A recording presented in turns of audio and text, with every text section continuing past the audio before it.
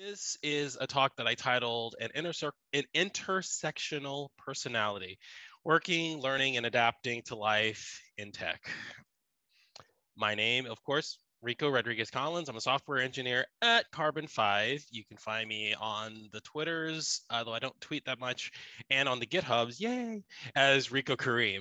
Uh, my pronouns are he, him, and his. However, if you family, you can call me she, her, and hers. Lessons I've learned. Lesson one bringing my whole self. I seldom do this. In fact, there's a word for people who brought their whole selves, at least in my opinion, um, and I call them um, weird AF. Uh, no, not really. Uh, I do tend to bring my best self, though. Um, in fact, we all tend to bring our best selves the self that we're most proud of, the self that is most marketable, the self that is has the most appeal, and the self that tries to look professional. Um, I even had a motto for a long time, uh, especially being the first in a lot of things. And it was uh, don't let all of your diversity tags outshine you. There's a tactful limit to how much people can stand hearing about how unique you are. And uh, just share a little bit at a time, depending on the context. And I would try to blend, always try to blend.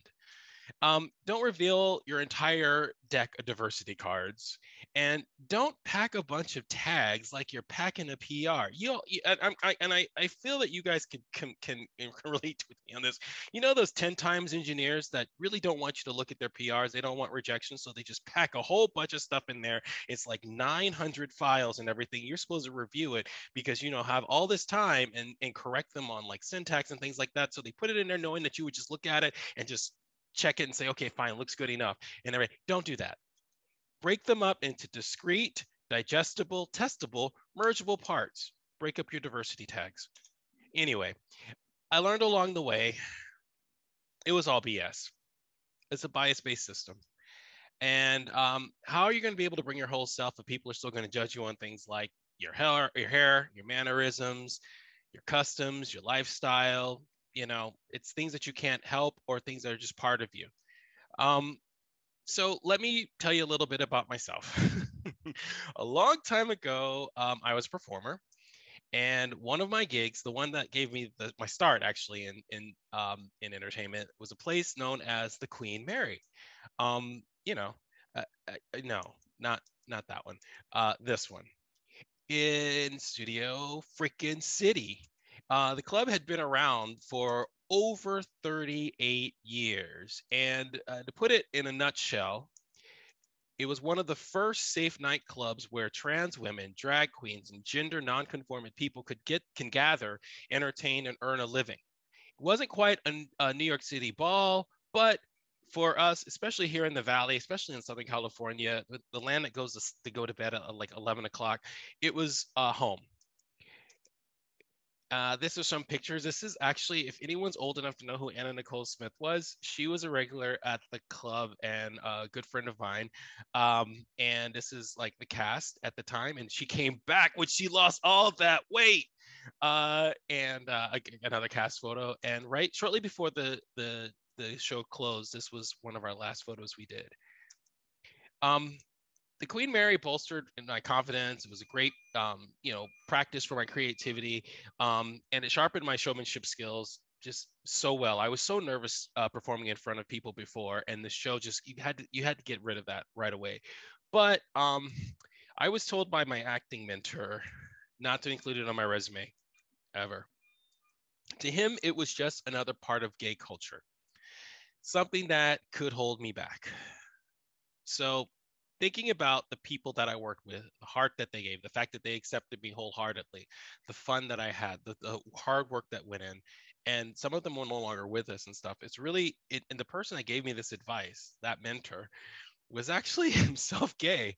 Uh, but um, I guess he called himself protecting me. But uh, there's always that part of me that wonders, like, you know, uh, how do you balance fighting for what you believe in and convincing people and teaching people with getting your foot in the door. After a couple of auditions, I got an amazing talent agent. I started to work more outside of the club and mostly with musical theater and commercial print. Um, but what I most wanted to do actually was dance, uh, especially in music videos. Um, most of the on screen work I did was within the Black entertainment community and, of course, unpaid. Um, and against my agent's wishes, I insisted on doing free stuff because I really wanted to be there. I wanted to be part of the action. I was a sucker for the artists, and I like being part of their work. Um, the work included even singing some backup as well, uncredited. So I started out doing stuff on Soul Train, got that straight from the club. They saw me dancing later on, um, I got a, a, couple of spots with Shaggy, like one, actually, it may have been two videos with Shaggy. And the big one that I loved was Dancing with Aaliyah. Um, badass. Um, in fact, this was my schedule at one point in my life for about a year and a half let's see, Monday through Friday was my shift at Earthlink, and it was anywhere between 10 o'clock or 12 o'clock to 8 p.m. Fridays, I would leave a little bit early so that I could go to the gym and then go to the do the Queen Mary show, which was Friday night, Saturday night, and Sunday night. And once a month, we had to do uh, a full weekend of Soul Train, and it was four. We would tape four episodes in one weekend, so it would be a double episode on Saturday and then a double episode on Sunday. And immediately following Soul Train, while everybody's eating and chill and everything else, I would sneak away so I could do my show at the Queen Mary. Um, however, I never actually could bring my entire me to an audition, a rehearsal, or even a taping. The me's that had to stay home were the nerdy me, the a lot of my friends are white me, the my family is dirt poor me, the I don't know a lot about hip hop me, the I'm not that into sports me, even though I'm a big guy, and the queer me, the big one. Although most of my interactions were cordial, there was a significant amount of homophobia in the black entertainment uh, in black entertainment. Uh, that coupled with just being a bit on the corny side already meant that I had to adapt to my surroundings. Yes, they called me Carlton. Um, so I came up with adaptation method number one, code switching. Code switching is the use of more than one linguistic variety in a manner consistent with the, with the syntax of the phonology of each variety. Um, in this case, I would have my black people, I would try to make sure that I go back home and I use a little more of a typical uh, black vernacular versus my professional where I could just sort of be myself. Um, and then there were other my gay my gay peeps where uh, where everyone's a she and a her and and, and we're flipping code switching all over the place. I lost track of who I was. Most people have already mastered the art of a slight behavioral modification, depending on their social surroundings, as a psychological tactic to increase their sense of belonging. So most people have their professional personas and their at-home personas. So code switching looks more, you know, like this. Um, however, my case, it was the opposite. I needed to show a completely different side of my personality, of myself, to be relatable, albeit believable. So I tried my best to come across like this without coming across like this. Eventually, I took an indefinite hiatus from show business altogether to gain focus and further pursue my career in um, tech that was my official statement, at least that I released. But between you and me, um, I was tired of being in the background uh, and uh, supporting my friends' careers mostly, um, or winding up on the cutting room floor because at the time I was doing a lot of un- unrepresented stuff. Um, and or there was the last thing was mostly constantly needing time off to go to auditions and getting not even getting cast. My agent would send me out two to three times a week, but at that time, no one could in that industry could knew how to market me uh, or someone like me you know uh, black but not black enough. Uh, uh, could totally pass for white but he's black and we don't really have a role for him in this particular thing. We don't really know like he's a little tall to be the backup dancer. This particular artist a little short. Any excuse. Um, except for my agent of course who had vision and was pretty awesome. Um, but even today, a majority of the powerful people behind the scenes in television movies look like this they just don't inter- they don't have a huge interaction with people that look like me. So as a non-mainstream talent, you were expected to stay in your lane and like a Lego piece, you were to go wherever they needed you to fit a demographic. So what on earth does any of this have to do with tech? I learned that the tech industry can often be about looking the part in order to thrive. Your brand being young, hip, straight acting, ethnically marketable, articulate, and liberally minded, kind of like a Grindr profile. So, as was in entertainment, so was the same in tech. I was passing.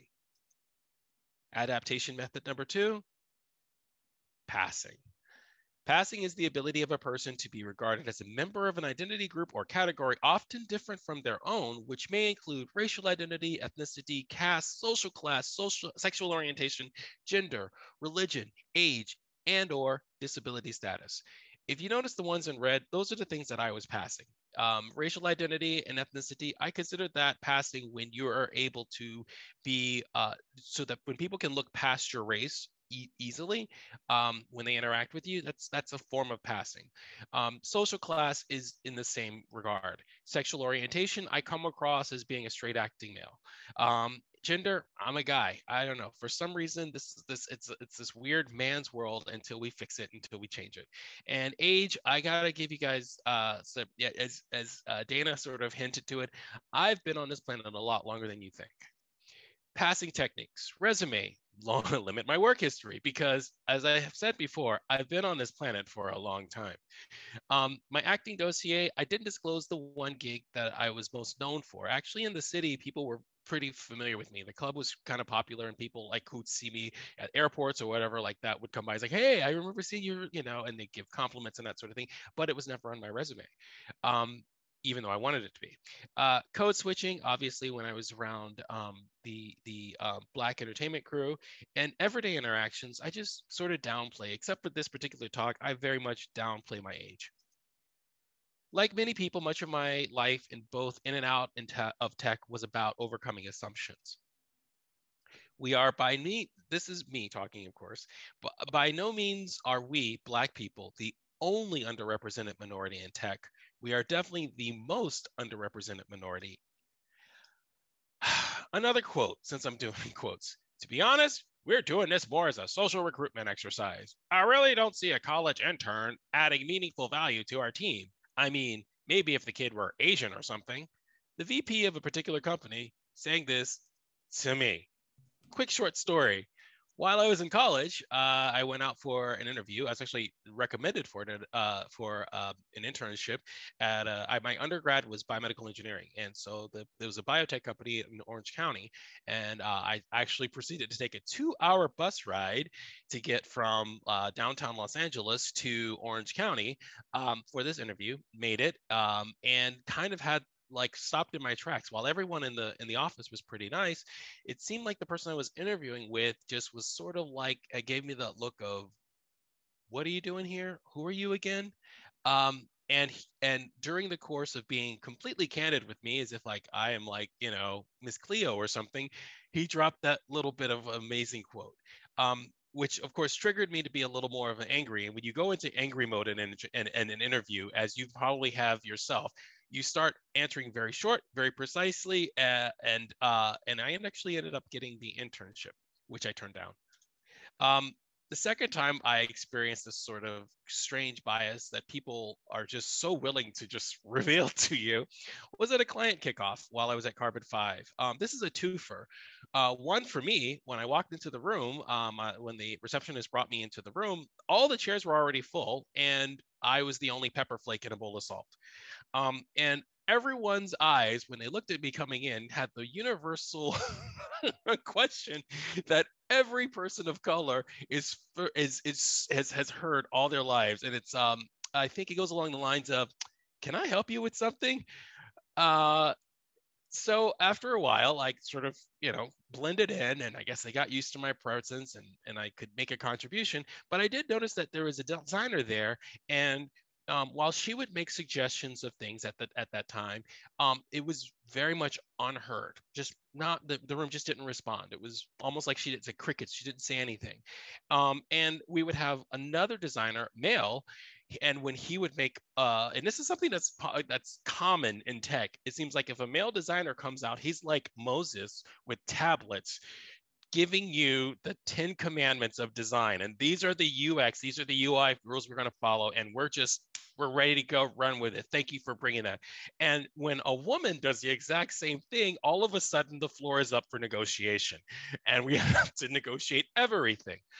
Um, I called that because I witnessed it firsthand and actually witnessed it over and over um, brokersion having your input not taken seriously by a group, then later repeated by someone else in the group, after which that person who repeated what you said gets credit for your idea, and that idea is met with wild acceptance over and over again.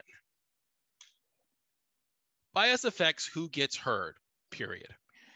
At meetings and technical decisions, even in open source community and contributions, I've had my share of, of ears raised because I was wondering, like, was I rejected because this person didn't like my contribution or because they didn't trust me? Um, women deal with this all the time. Do they want to just remove their GitHub profile picture and just have like something generic and change their name to something else generic so that people can't have bias and, and, and have extra critique to their to their contributions? It's something that we struggle with all the time.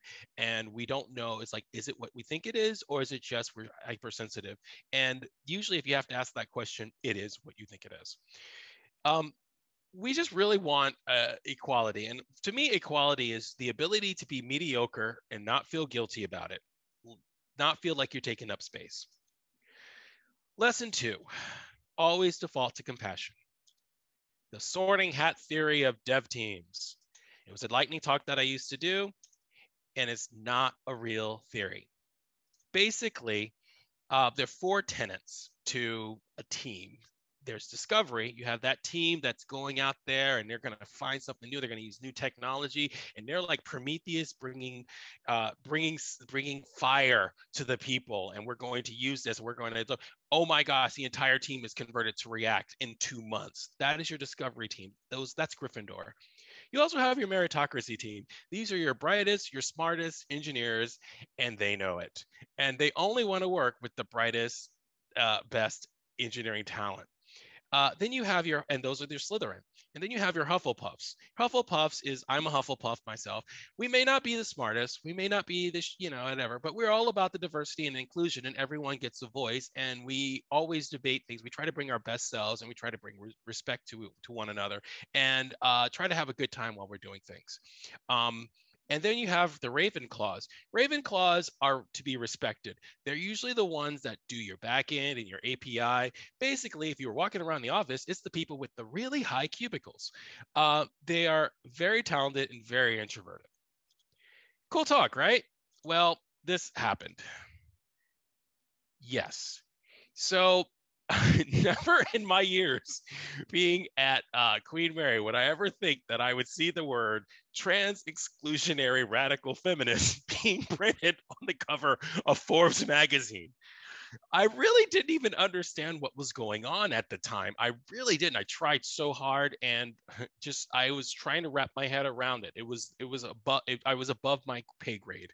Okay, um, so I because I didn't have a full grasp of the situation, I decided to ask the people who are affected. I think by definition that's what you call inclusivity having those people available so that you can ask them questions so that you can get clarification before you put your foot in your mouth. I did, and I still didn't have a full concept of a full understanding of the situation. However, I did understand two concepts they mentioned. Microaggression, the statement, action, or incident regarding an, uh, an instance of indirect, subtle, or unintentional discrimination against members of a marginalized group. We also call that shade. And plausible deniability. Plausible deniability being the intentional setting up of conditions for the plausible avoidance of responsibility for the consequences of one's actions. It's the uh, it's the it's the quintessential Republican Steve Urkel. Did I do that? Uh, way of getting around uh, putting your dog whistle out there to the hateful crowd while not while while making sure that the people who are affected by your actions you can cast as being in just being way too sensitive and possibly blowing things out of proportion. So I scrapped the uh, the talk altogether. I just don't do it anymore. I loved it. It was one of my favorite talks, but I, I don't thinking of the pain it can possibly cause. Always default to compassion. As leaders, we are sometimes faced with a peculiar with peculiar decisions. Say like this poor guy. This is Brian Armstrong, who decided, you know, CEO of Coinbase, um, in the midst of the Black Lives Matter movement, on the tail end of the Floyd situation, to announce that we're going to discourage politics at work. And I'm going to offer a generous severance to the employees who want to quit. It was a kind gesture, working all the angles. And, you know, it could be read multiple ways. I'm sure that Wall Street was like, why are you worrying about what your employees think? And why are you giving them so much money to walk away from you? You're crazy. You're a fool. And then on the opposite side, there are those of us who are like, why would you pick now to do this? I mean, Coinbase, by definition, is politics. I digress. It wasn't until I saw this uh, written uh, piece that he did um, on the blog, and uh, I not normally I'm not I don't pick apart people's things, but it did tick me off. So it starts off with the the typical thing, the corporate mumbo jumbo. I mean, there's a stock price involved, so you gotta you know you gotta at least you gotta wear the tie, right? It's a mission focused company. We gotta play as a championship team. You know, no, yeah, well, I got you there. Okay, we're we're a team. Um, we're company first. Okay, I got you. One Coinbase. One Coinbase is kind of a little bit of all lives matter to me, but I will pass. Act in service of a greater mission. Okay, that mission being possibly something that is a little bit on the shady side, but oh, carry on. And then I saw this, and that's when I flipped the table. Um, yeah, seriously, this dude. So, to people like myself and we probably don't have a lot of voice in this company. I don't know if they have the best representation. It's not a huge company, and it's not exactly like we're just tripping all over black engineers all over the place. Um, he thinks that this is an ideal team. This is the dream team.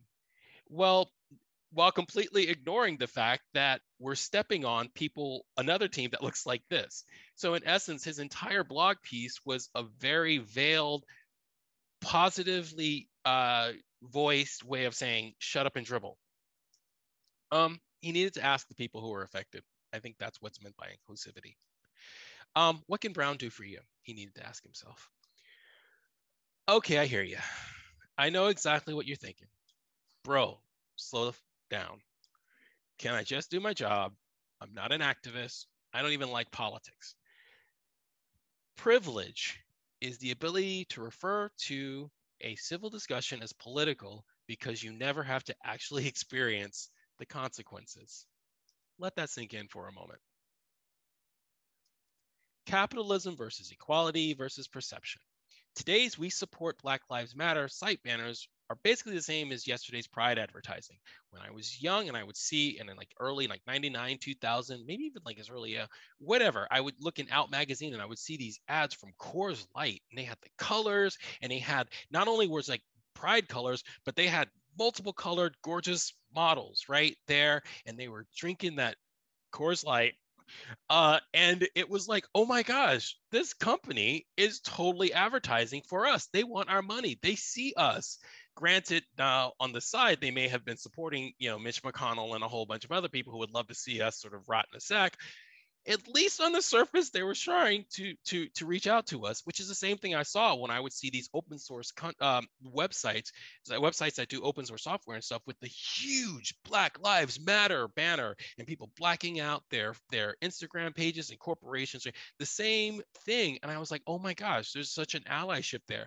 But the reality is allyship comes with risk right? Don't just be there to get the the brand affinity. Um, and in this case with Coinbase, I would recommend it's not my company, it's not my cat. I would avoid short-term gains, ultimately erring on the side on the right side of history because that's always good for business. Anyway, always default to compassion. Okay, one other phenomena that happened in 2020, um, because obviously Brian was not alone in a lot of his sentiment and uh, complete being uh, a complete tenure to the climate. Um, Dun, da, da, da, TechLead. I think he is probably the nicest person on YouTube that I've ever seen.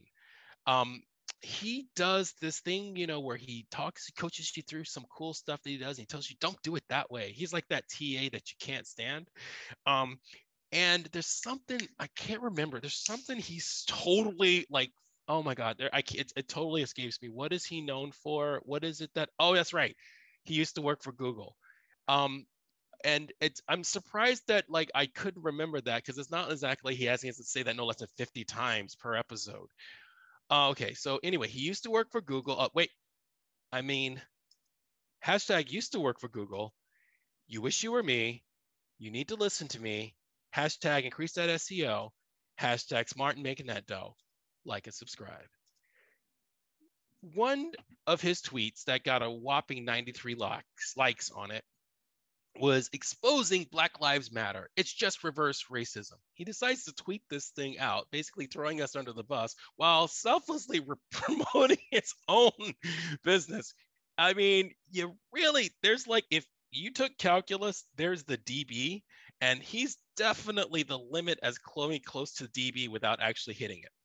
Um, and so I sat there and watched the 12 minutes of his blah blah blah blah rambling rambling rambling about how you know it's just reverse racism and all this other stuff. And i'm just completely about to pop because I, this was the last straw. After listening to him complain about being divorced, complain about all these things that are happening how he doesn't understand, and how, like, you know, he's basically a, the equivalent of a conehead trying to understand how we exist in this life and why we why we feel the way we do.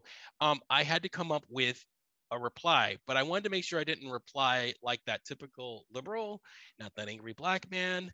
I needed to somehow talk to him in a language he could understand slightly, but still get my point across. So I just said, when you don't understand something, it's far better to ask for help, do some research rather than pontificate ignorance or call it stupid. Spend at least half the time listening as you do talking, and you might end up happier. Furthermore, it shows a distinct lack of empathy, something I've come to notice as a pattern in watching your videos. We could use more leaders in tech. We have enough manners, managers, sorry. Um, but you know what? You probably won't be able to find that video anymore because ah, it's been unlisted.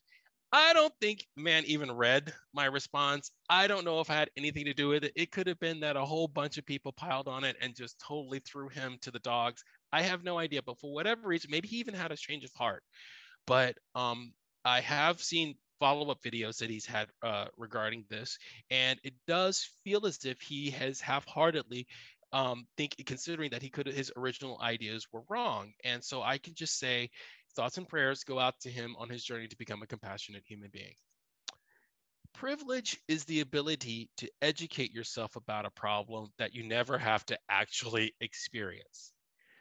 So I'm going to sit for a second on this because um, I it's funny I brought him up and he was and he weighed on my mind when I when I was when I started doing this talk because the reality is everyone experiences is it has has experienced some some problem that has to do with their identity on some form or another. You, there's there, there's no real avoidance of it. Nobody has the perfect life that that that they've never felt insecure about something, but particularly um, in my case, it's even more crucial for you to be an ally if you are already a member of an oppressed or formerly oppressed group. Um, when this craziness started, and I and this infuriating craziness started, where people were going out and attacking people's parents and grandparents out in the street for being Asian or looking Asian or something. The, the that that level of it's something from a movie and I and, and I just I, I again I since I'm not part of that group, I do have an Asian son, but I don't I can't really speak to that.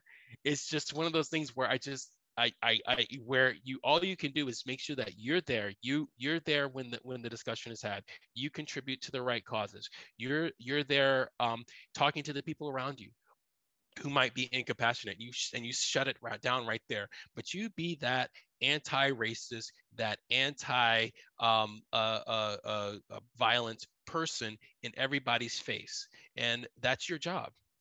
Um, always default to compassion. Lesson three. Just because you happen to fall into one of the categories doesn't mean that you always are safe there.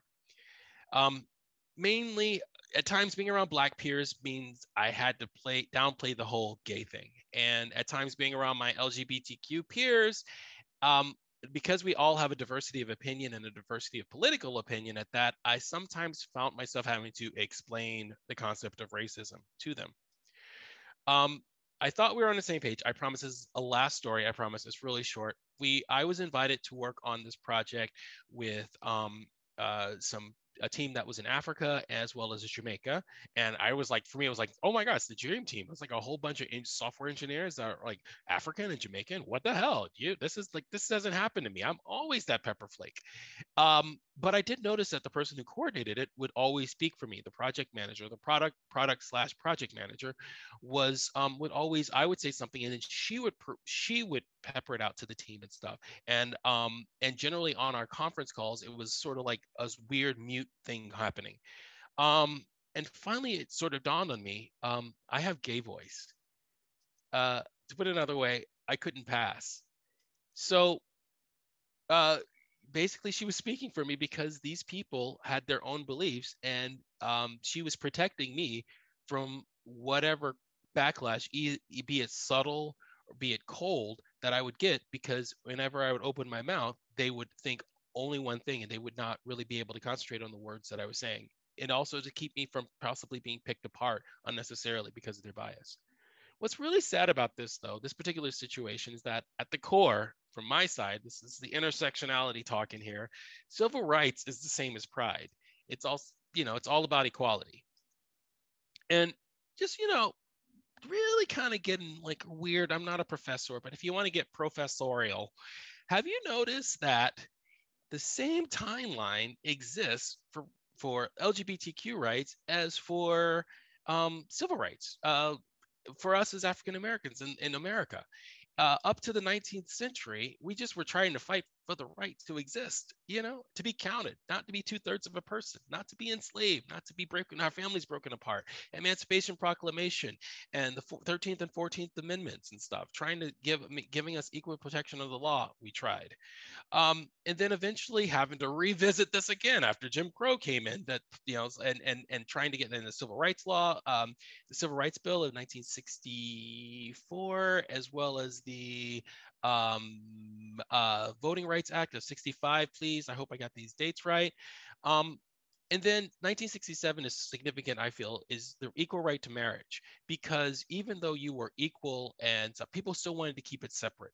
And so finally, with Loving, Loving versus Virginia, we got that right for equal marriage. And 2010s came back full circle where we finally had the day of reckoning in the media with the way that we are portrayed in the media and our state and who we are who you know we're not you know and and and and calling to attention to the to the unfair um perpetuation of racism that the media has played in, in, the fact of how we played in movies and how we're how we're seen on screen.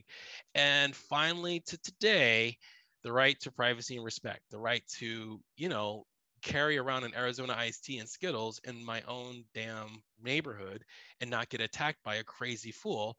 Um, the right to fall asleep with my hood boyfriend and not have the police kick the doors in and shoot me. Just the right to exist, the right to wear a hoodie, the right to drive a new car without uh, without plates, the rights to have a nice car. Just trying to get down to again the equal protection under the law. Well, it's the same master branch. I mean, main branch. Ha! Shout out to you guys for doing that. I don't know where the discussion came from. I'm not one of the people that asked for it. And there's still things like master cylinder, slave cylinder stuff that really me, irk me and stuff. But again, allyship. I really appreciate the people that went through the effort and uh, to, to do this. As well, um, I also think, find it in my own little shot Schadenfreude way. Um, it's not the people who go out of their way um, to change it that I that were uh, most impressed me. But it was the people that were very vocal about not liking doing it that I found to be extremely humorous. Anyway, back to the timeline. Um, the same thing happens for LGBT rights. We started in the pre 1980s. There was Stonewall, um, also the AIDS crisis, where we were just considered disposable, and um, that we were, and this was a, uh, a, sin from God, and this was your punishment. I'm sorry, this was a sin under God, and this was your punishment. To finally in the 90s, um, people have under the, the Clinton administration, um, we had the gay 90s where we were seen as equal and people did, we did start seeing more respect and we were um, trying to, you know, make sure that people weren't not fired because of, because of their sexual orientation. Um, and also that was the beginning of Don't Ask, Don't Tell, which was repealed under the Obama administration because during the Bush administration, it was used to expel gays in the military, which I found interesting because most of the people that were there were interpreters that were expelled. And it's kind of weird that you're in the middle of a war and you want to get rid of all the interpreters because I don't know, they have pride flags. But I digress. Um, don't ask, no tell was uh, was actually the Clinton administration's way of trying to make sure that gays were not excluded from the military and kicked out of the military with dishonorable discharge. And of course, no on hate once Obama got into office, we had full throttle um, people saying that no, marriage is only between a biological born man and a biologically born female, whatever the hell that means. They were out there fighting and lying to make sure that people that we could not marry. 2010s came back again. It's a reckoning on Hollywood saying, you know what? I'm tired of every time you see a gay person, it's either Sharon Stone in uh, Basic Instinct. Or uh, Anthony Perkins in Psycho. Uh, the idea is like, okay, we're diverse, we're not asexual, we should have relationships, we should not be perfect. We, you know, we, you know, start giving us some real, some, some real presence, some three-dimensional presence on screen. And today, good Lord, we just want to go to the bathroom, people. Why is this even an issue? Um, I'm going to tell you something else that's kind of interesting though. With every single step we make there is something which which creates us to fight again. So we thought that once we became established citizens and that we were respected, um, that there was that we should have just assumed that we should also be able to take be, be part of the military. But no, they found something to say, you know what? No, no, no, no, no. This is different. This is not for you. We don't want you here. Another form of discrimination. So once we overdid that or, or, or were talking about that or thinking about overturning it then they came back saying you know what? I don't like what you're doing. You got to think of you know what this is this is our uh, this is our families we're talking we should not joke about this. He said this is this is marriage is not this is sacred bond. You know let me let me talk to my priest. Like seriously why do, what is wrong what more do you want from us? And then finally they're like would you think of the children what will the children do? They will go, they won't know. Do I need a dress? Do I need pants? They, you know, and so this is where the argument has been. In fact, there's another term I use for this. It's called Newton's third law of motion.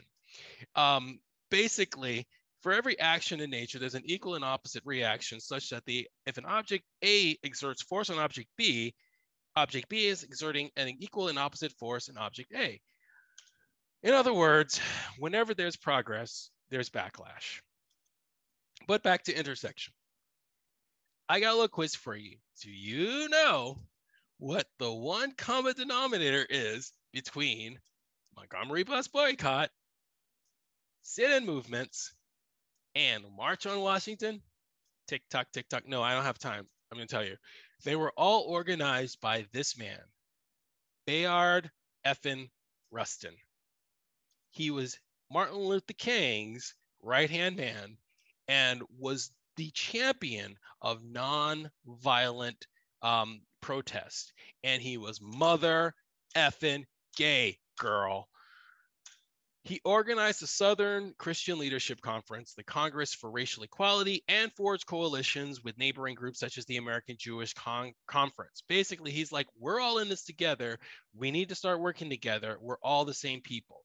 Um, he's actually was a devoted follower of the Gandhian movement, especially while he was spent when he spent time in India. And he insisted that the groups press forward with the idea of non-violent civil resistance as a primary means to getting a message out to the complacent and indifferent public, even though the people who were the executives at that time felt that this was a meek, uh, weak way of response to very violent um, uh, racism, especially in the Jim Crow South.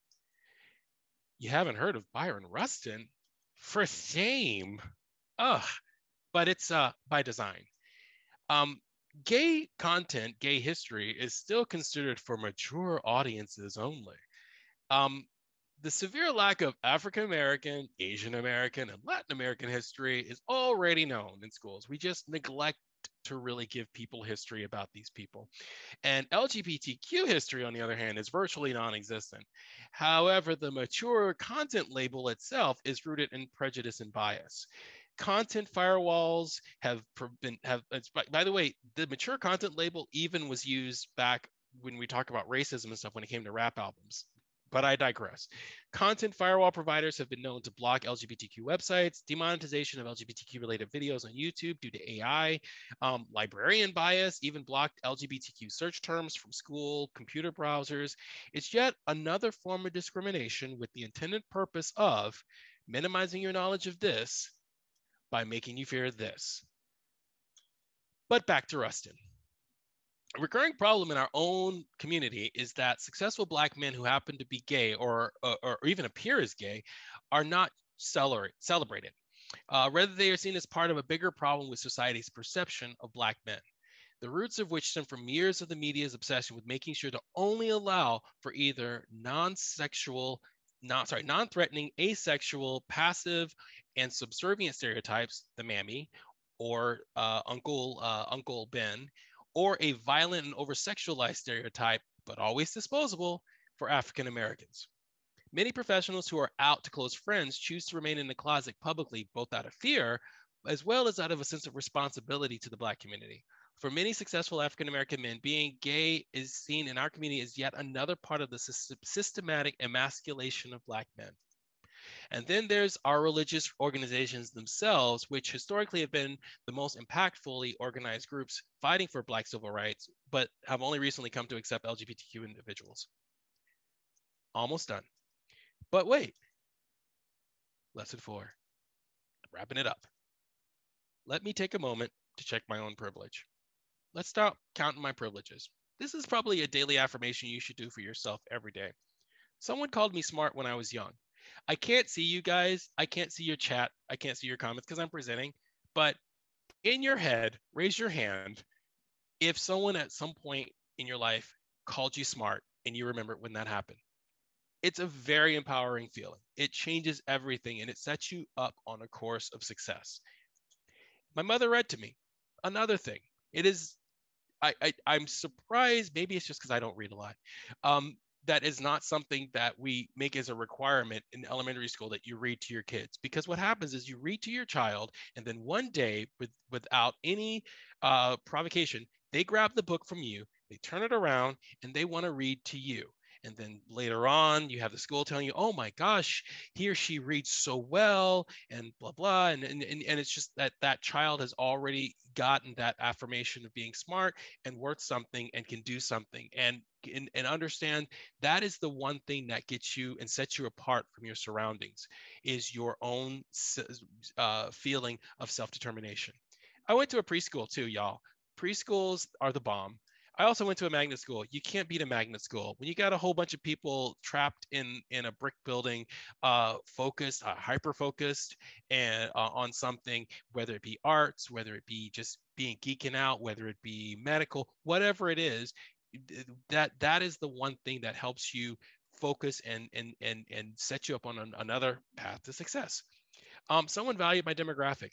Um, I don't call it tokenism. There have been times when people were just interested in just bringing me in for who I was, but the main thing is I'm no one's uh, uh, bro. Uh, what's it? Uh, I'm no one's.